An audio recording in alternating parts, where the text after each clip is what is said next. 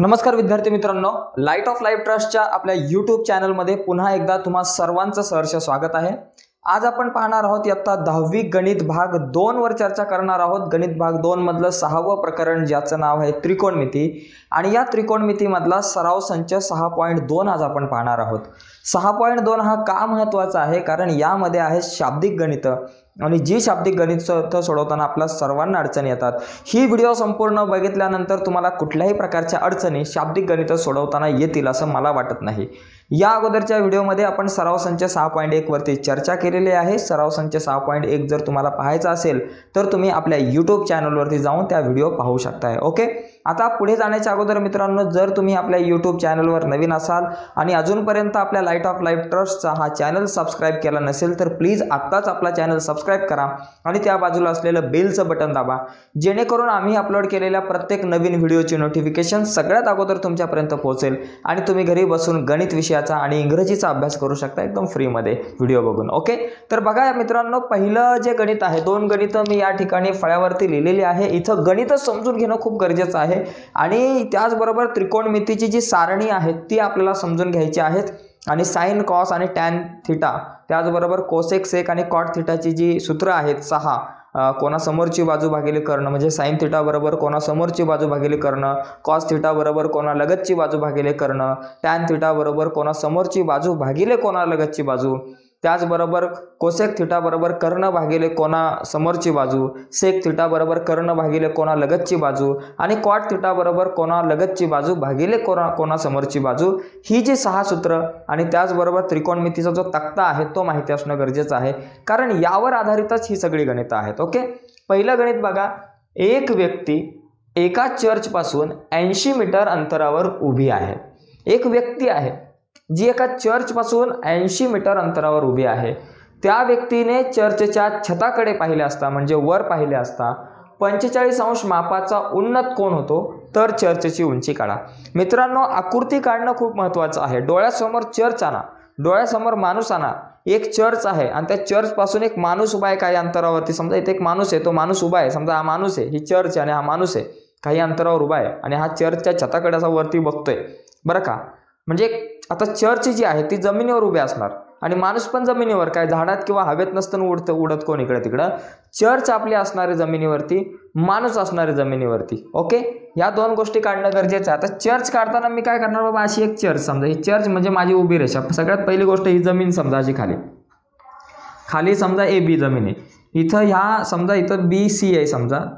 आणि या सी या ठिकाणी आपला हा व्यक्ती आहे. कोण आहे तो व्यक्ती? इथं सी या ठिकाणी आहे. आणि ही जी आपली ए बी जी आहे ती चर्चची चर्च आहे समजा. ए बी चर्च आहे किंवा ती चर्चची उंची आहे असं आपण समजू.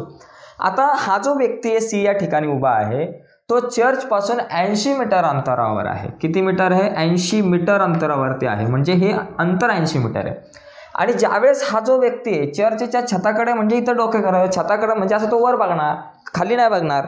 हां? चर्चच्या छताकडं म्हणजे वर बघणार आहे म्हणजे इथून असा तुमचा अँगल वर जाणार आहे उन्नत कोण होणार आहे चर्चच्या छताकडे म्हणजे वर ज्यावेळेस हा बघतो इथून असा वर त्यावेळेस पंचेचाळीस अंश मापाचा उन्नत कोण होतो? किती अंश मापाचा होतो?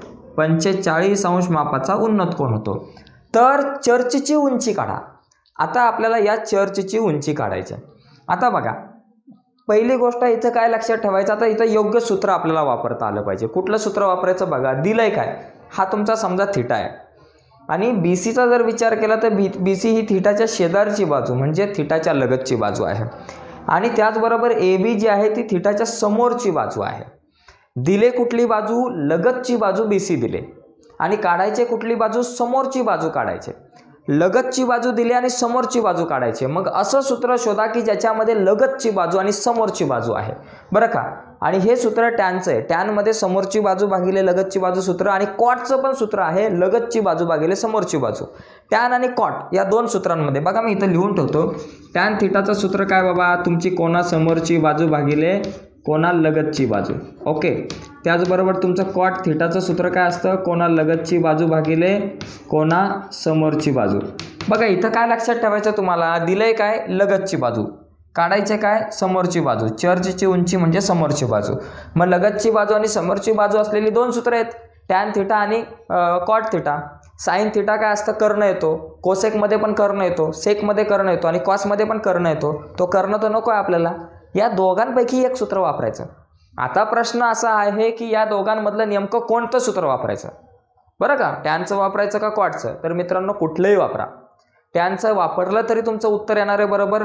क्वाटचं वापरलं तरी तुमचं उत्तर बरोबर येणार आहे. त्यामुळे दोघांपैकी कुठलंही तुम्ही वापरू शकता.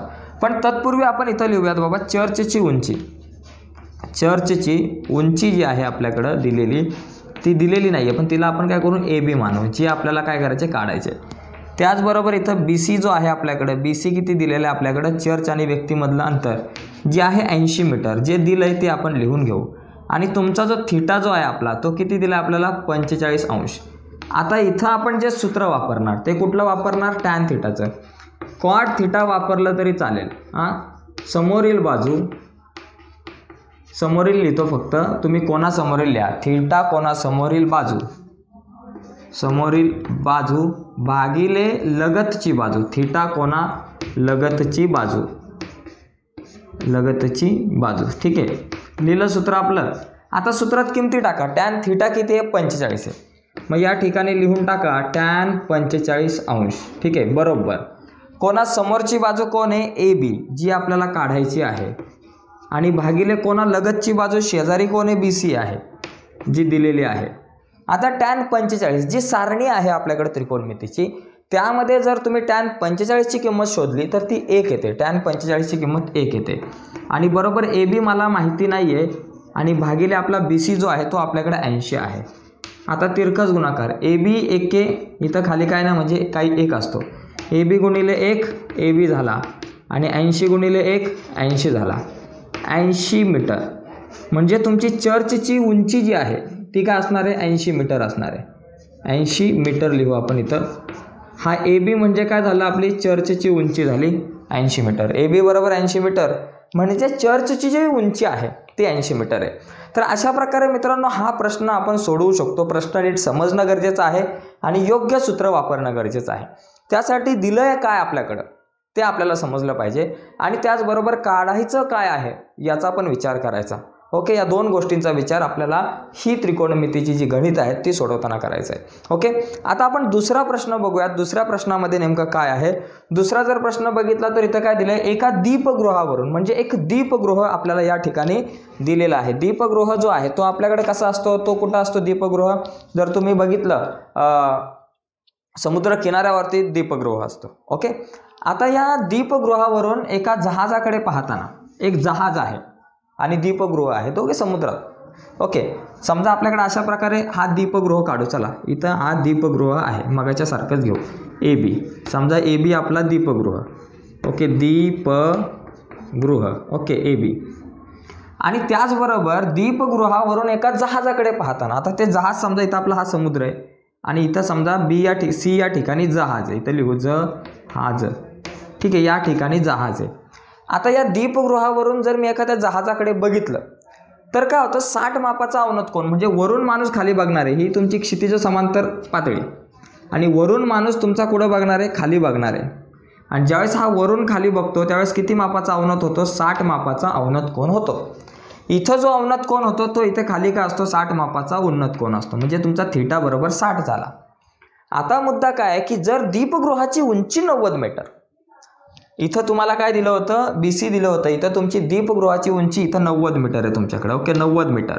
म्हणजे तुमची ए बी जी आहे ती नव्वद मीटर आहे. इथं नव्वद मापाचा कोण तर काय करायचं? ते जहाज दीपगृहापासून किती अंतरावर असेल? हे जे जहाज आहे सी या दीपगृहापासून म्हणजे या ए बीपासून किती अंतरावर आहे? म्हणजे तुम्हाला इथं बी सी आता आपल्याला काढायचे आता दिले कुठली बाजू? समोरची बाजू. काढायचे कुठली बाजू? लगतची बाजू.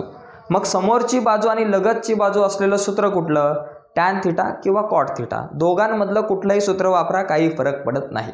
आपण काय करू? टॅन थिटाचं सूत्र वापरू. आता इथं तुम्ही लिहू शकता की बाबा ए बी बरोबर दीपगृहाची उंची. ए बी बरोबर दीपगृहाची उंची. ओके इथं लिहा डिटेल्समध्ये.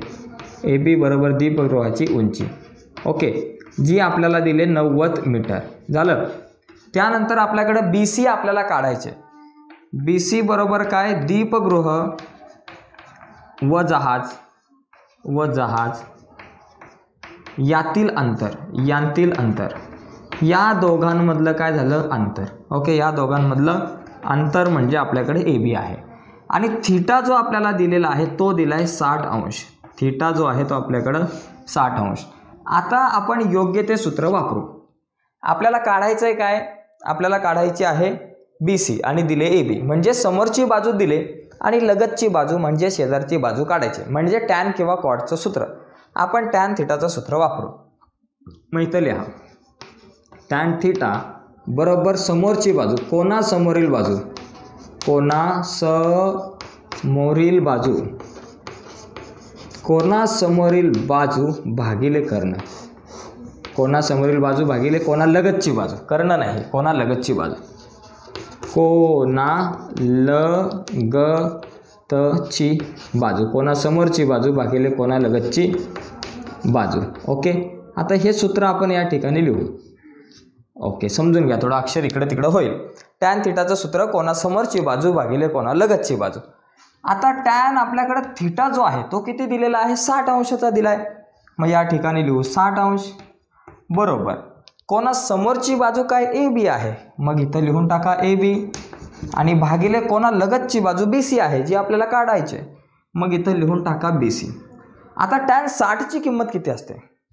टॅन साठची जी किंमत असते ती रूट तीन असते. लक्षात घ्या वर्गमुळात तीन. ही टॅन साठची किंमत आहे. ए बी किती? नव्वद मीटर आहे. नव्वद आहे आपल्याकडे बरं का? आणि भागिले बी सी मला काढायचं आहे बी सी भागिले इकडं आला गुणिले. बरं का? वर्गमुळात तीन गुणिले बी सी बरोबर तुमचा नव्वद. आता आपल्याला बी सीची किंमत काढायची हा वर्गमुळात तीन गुणिले बरोबर चिन्हाच्या पलीकडे गेला भागिले. म्हणून बी सी बरोबर नव्वद भागिले वर्गमुळात तीन. आता इथं एक विषय मित्रांनो लक्षात घ्या. वर्गमुळात तीनची किंमत एक पॉईंट त्र्याहत्तर दिले. मग याचा अर्थ इथंच भाग नाही लावत भाग बसायचा. इथं नव्वद भागिले इथं डायरेक्ट किंमत नाही टाकायची. अगोदर छेदाचं परिमेयीकरण करायचं. जे आपण नववीला पाहिलं. कारण छेदाचं परिमेयीकरण केल्यानंतर हे गणित सोडवायला थोडं सोपं जाईल. मग आता काय करायचं माहिती आहे का? वर आणि खाली वर्गमुळात तीनाने दोघांना गुणायचं. वर्गमुळात तीन भागिले वर्गमुळात तीन. ठीक आहे? ओके गुणिले वर्गमुळात तीन भागिले वर्गमुळात तीन केलं. आता हे नव्वद वर्गमुळात तीन आपल्या जागेवर आणि भागिले वर्गमुळात तीन गुणिले तीन फक्त तीन. आता नव्वदने तीनाला भाग लाव लागतो. नव्वदने जर तीनाला भाग लावला तर तीन त्रिक नव्वद म्हणून तीस वर्गमुळात तीन. आता तीस गुणिले वर्गमुळात तीनाची किंमत एक पॉईंट त्र्याहत्तर लिहा. आता तीस आणि एक पॉईंट त्र्याहत्तर यांचा गुणाकार करा. बघा एक पॉईंट त्र्याहत्तर गुणिले तीस. ठीक आहे तीनच करू आपण. तीन त्रिक नऊ तीना सत्ता ठीक आहे आपण तीसानेच गुणू. इथं शून्य घेतला पहिला. ओके तीन त्रिक नऊ घेतलं. तीना सत्ता एकवीस हातच्याला आले दोन. तीन एके तीन चार आणि पाच. ठीक आहे एक दोन घरं सोडून पॉईंट एक्कावन्न पॉईंट नव्वद आलं. किती आलं बाबा एक्कावन्न पॉईंट नव्वद मीटर. म्हणजे या ठिकाणी आपण सांगू शकतो की दीपगृह आणि जहाज या दोघांमधलं अंतर. किंवा प्रश्न काय विचारला की बाबा ते जहाज दीपगृहापासून किती अंतरावर असेल? तर ते जहाज दीपगृहापासून जवळपास एक्कावन्न पॉईंट नव्वद मीटर अंतरावरती असणारे अंदाजे. आता ही सगळी जी मापं आहेत ती असतात ॲक्युरेट पण ते आपण अंदाजे सांगण्याचा प्रयत्न करतो. तर अशा प्रकारे मित्रांनो ही दोन गणितं आपण पाहिलेली आहेत. आता यामध्ये जर आपण पाहिलं तर आणखी काही गणितं आहेत माझ्या माहितीनुसार. सराव संच सहा पॉईंट दोन जो आहे तो खूप महत्त्वाचा आहे. कारण यामधलं प्रत्येक वर्षी दरवर्षी या सहा पॉईंट दोनमधलं एखादं गणित तरी दरवर्षी बोर्डाच्या परीक्षेला येत असतं मित्रांनो. ही गोष्ट लक्षात घ्या. तर आता सहा पॉईंट दोनमधलं आपण ही दोन गणितं पाहिलेली आहे. परंतु बाकी यानंतरची जी सगळी गणितं आहेत ती सेम याच प्रकारे तुम्हाला सोडवायचे तुम्हाला आता लक्षात आलं असेल की सूत्रांचा वापर कसा करायचा? फक्त लक्षात ठेवायचं काय दिलंय आणि काय काढायचं या दोन गोष्टी लक्षात ठेवायच्या. जर तुम्हाला समोरची बाजू दिली आणि लगतची बाजू काढायचे बरोबर ना? समोरची बाजू लगतची बाजू असेल तर टॅन किंवा क्वाटचं सूत्र वापरू शकता.